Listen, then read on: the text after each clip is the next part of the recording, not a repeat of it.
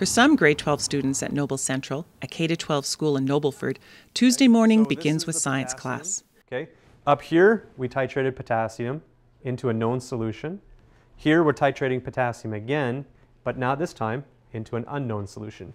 The unknown here. This is chemistry 30, and in this unit, we're doing oxidation reduction reactions.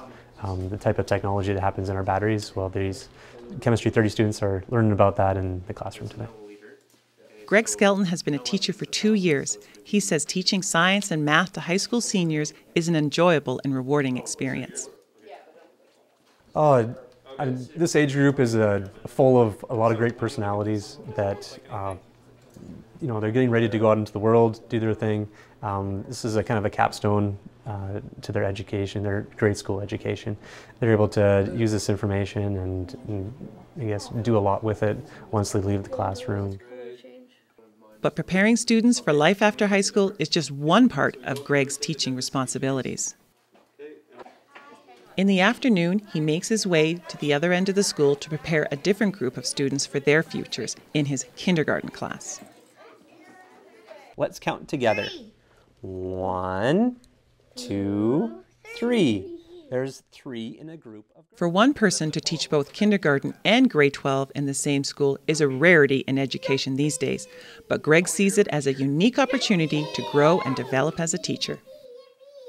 I don't know if I've ever heard of that kind of spectrum before, but it's something that works for me. It's uh, I enjoy the whole the whole group from kindergarten to grade 12. Um, I'm kind of like my high school students. They don't know what they want to do with their life, and I haven't made a decision either. I just don't enjoy teaching all the grades. Since becoming a high school and kindergarten teacher, Greg's found a surprising number of similarities between the two age groups.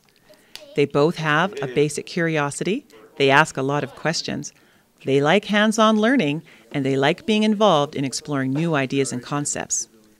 He just has to make sure he doesn't mix up his lesson plans. Uh, My grade 12 sometimes tease me and they, they tell me to teach like I am in kindergarten and some of this when I'm in science class with them and, and they quickly change it back pretty quick. Clearly, a teacher can make an impact in the life of a student. Greg's position at Noble Central gives him a distinct opportunity to make a difference at both ends of the education spectrum. A, we're working with kindergarten, we're building their foundation, we're building the, I guess, the base knowledge that they'll need to grow upon for the rest of their lives.